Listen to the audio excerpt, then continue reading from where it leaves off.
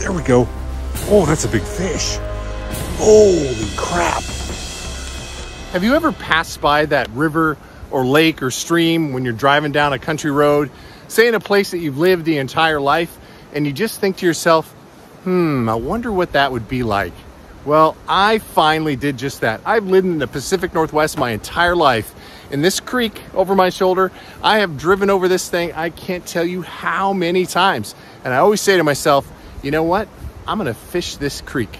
And finally, today, we're gonna do just that. And I can tell you, the trip's over. I'm just wrapping it up. I got into some challenges in the beginning. It is a tiny creek with lots of overhead hanging trees and brush, and there's like mystery holes that you could step in. And I was having a tough time in the beginning. I guess there's uh, some advantages of being tall. Just uh, put my fly in the tree and now I'm going to get it out because I was tall enough to reach the branch. And there's some more stuff in here. And I wasn't sure if there was even any fish in here because I, I didn't see anything and I certainly hadn't got any tugs. Well, another thing that I do often is when I'm walking a, a stream or a river, I just keep going, right? I can't wait to see what's around the corner and what potentially could be up next. Well, I'm glad I did that because I had hooked into one fish but lost it, but then got into a spot it was absolutely gorgeous. Positioned myself perfectly to where there wasn't anything in my back cast. I made the cast, and holy smokes, you are not going to believe the size of fish that are in this creek. It is unfreaking believable. I kid you not. I kid you not. It is incredible. You're just going to be absolutely shocked when you see what I saw and just experienced not but an hour ago. All right. Roll it.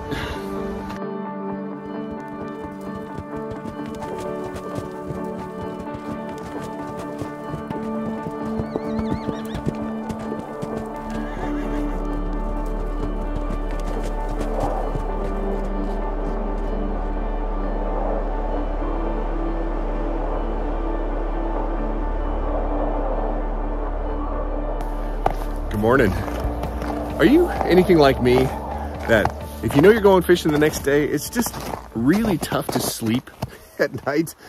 I was anticipating heading to this creek, something, uh, I live in the Pacific Northwest and been driving by this thing my entire life and just never fished it. So I'm excited to see if there's any fish in here. It's cold, it's winter, there's no ice on it, so that's good. And yeah, let's hope we get into fish. All right, everybody, let's go see if we can catch one. Let's do this fish on.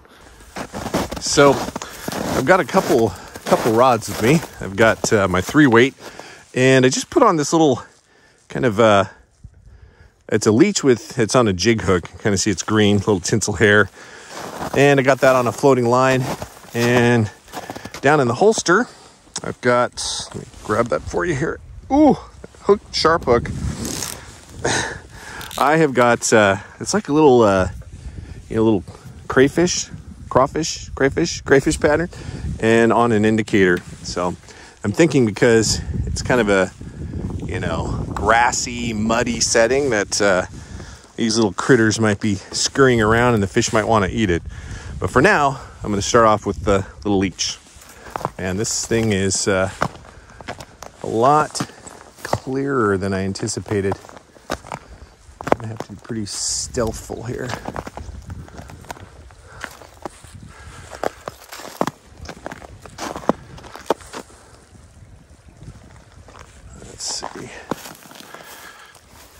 One thing I gotta be careful of. I know that just one step I can disappear.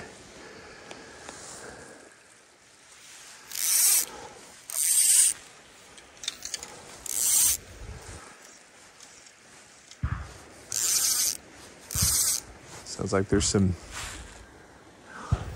duck hunters or pheasant hunters.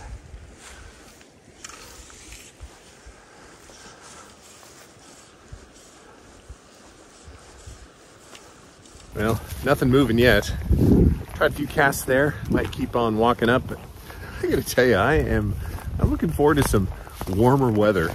As much as I love fishing in the winter, eventually it just starts to cut deep and I've got a new heated jacket, which is freaking awesome, by the way, um, which helps me keep my body warm. But yeah, it's it's cold, but not seen any fish yet.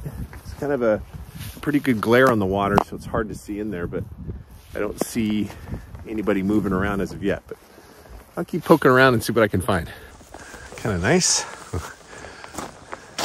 Barbed wire is, uh, is definitely the wader's worst enemy, so it's kind of nice to have a ladder.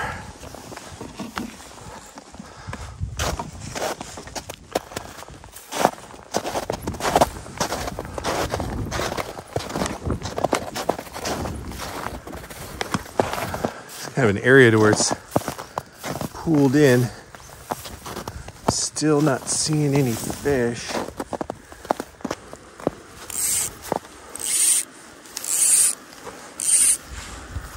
Lots of stuff in my way.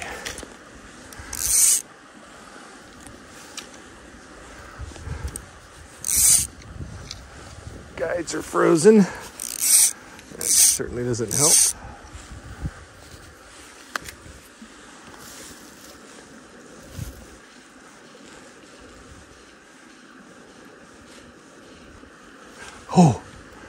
That was a fish. I don't know if you can see it, but I just had a fish just run, take a big run at it.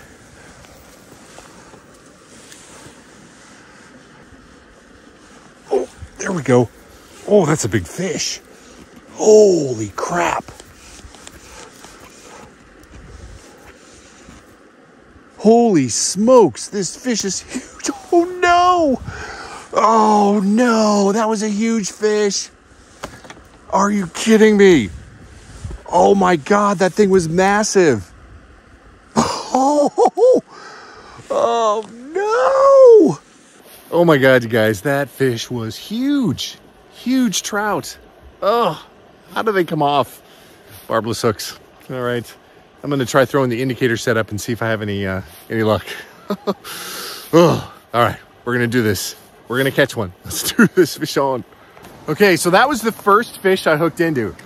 I was thrilled. I mean, it felt big. I had one little tug prior, but then hooked into what seemingly was a pretty sizable fish. I would guess maybe 14, 15 inches and couldn't, couldn't see it, saw the flash, but it let go.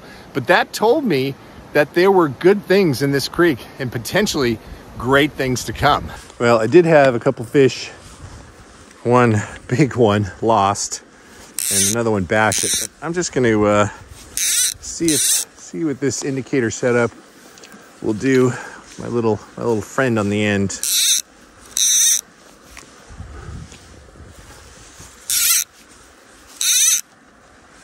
Cold and flatline. They don't like each other.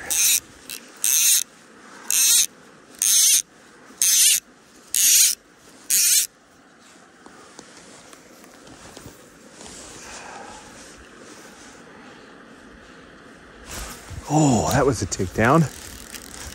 Damn it. Oh. I walked up quite a ways, just looking for some deeper water.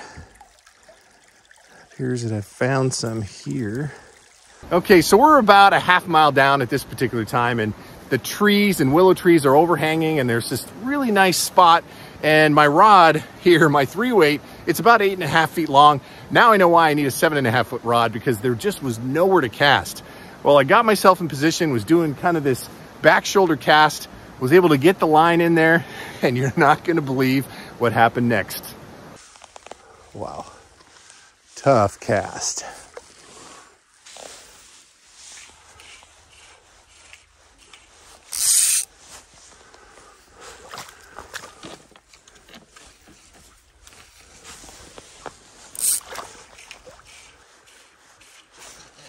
There we go. Oh, I had a fish again.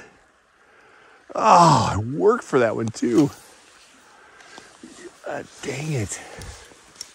Okay, so now I've had two fish on, two fish on and lost them both. Haven't been able to see them. And I don't know if this has ever happened to you, but when I've gotten into fish, I just, I want to get one in the net, right? I want to take a look and see, especially on a place you've never fished. I want to be able to see what is the potential of where I'm fishing. And you can't really do that unless you net one. So now I'm determined, right? So I head further up And I'm probably now, gosh, I'm just bushwhacking and trying to find the trail and route find. And, you know, there's these big straight sections that were really shallow. I mean, I could literally just walk right across, but I knew fish wouldn't be holding a net. I needed to find some sort of pool or somewhere where the water would rush in, slow down in, in kind of a deep area. And then, thank God, right, it was just about ready to turn around. And I looked up, saw this spot, and I thought, oh my God, this could be it got myself in position and I'm not just talking one big fish. I'm talking two monster fish in this tiny creek. You're not going to believe this. This is looking good. I'm already trying to figure out how I'm going to make the cast. Not a lot of room here.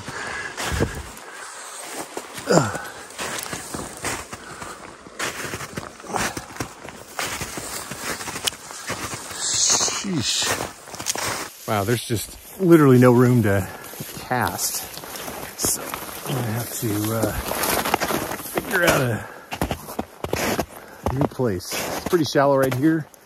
Fish seem to be sitting in the deeper holes, but yeah, there's like literally no room at all to get the uh, fly rod out. Wow, tight spaces. Coming up on another pool. It's usually a good fish holding spot. Water's nice and oxygenated. oxygenated. It's always been a tough word for me to say.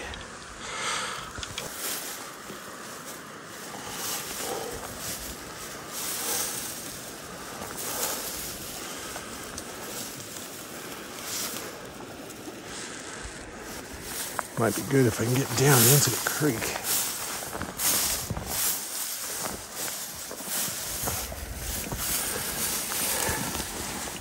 This is always a little bit sketchy.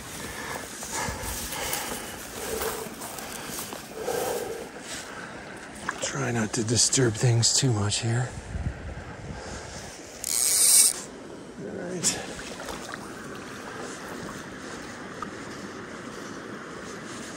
There we go. Stick.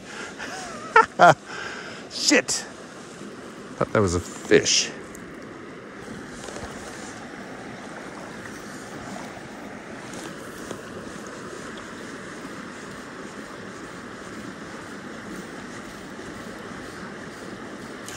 There we go. Is that a fish or a stick? It's a stick. Jeez. It's amazing how these sticks can feel like fish.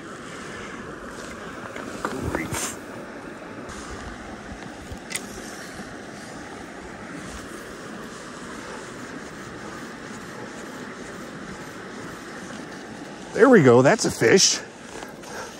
Oh, look at that thing. Oh, shit. That thing is huge. Is it gonna come in for me? Is it gonna come in? Come on, baby. Get in the net. Yeah.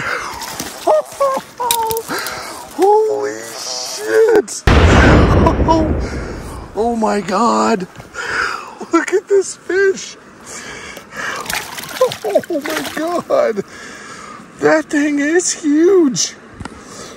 Oh, oh wow. Look how Look how tiny this creek is. Oh my God. Look at this specimen. Look at this guy. Oh, oh my God. That thing was huge. Look how tiny this creek is. I can't believe that a fish that big is hanging out in here. My God.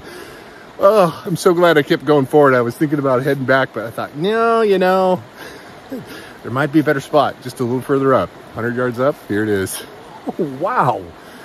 Wow. Well, that made it worth it. Holy crap. Uh, let's see if there's another one in here. I can't imagine. That was a big fish. Oh, my heart is still is pounding. Unbelievable. What? Is, it's just crazy.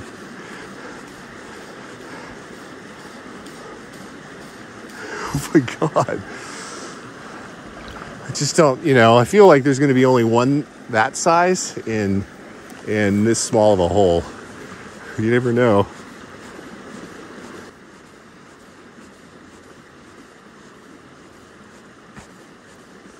Oh, I don't know if that was a fish or the ground. I've caught two sticks and a fish.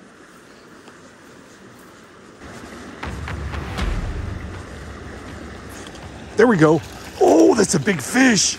Another lunker. Oh my God.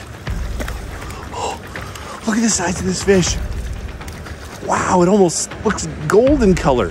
What the heck? Are you kidding me? Oh, come on, baby. Stay on. Stay on. Oh, yes.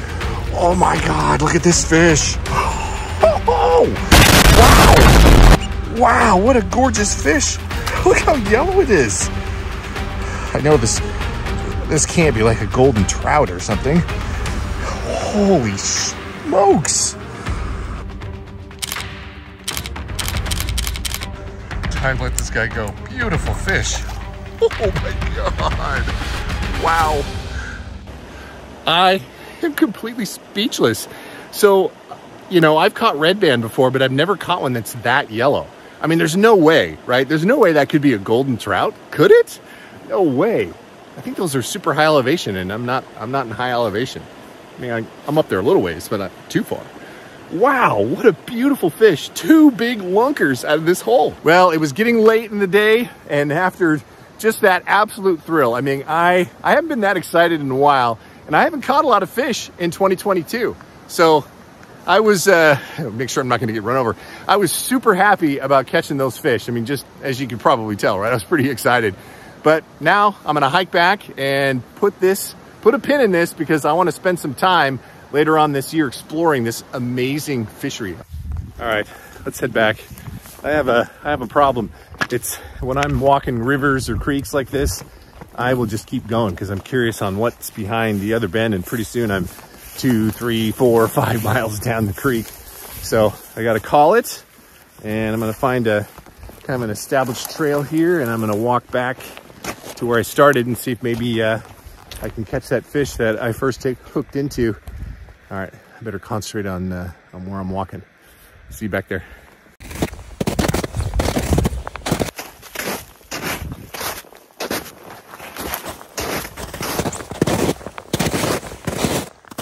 So kind of funny, you might remember when I came in here, they were nice enough to put a, uh, a ladder there so we didn't have to climb over the barbed wire fence.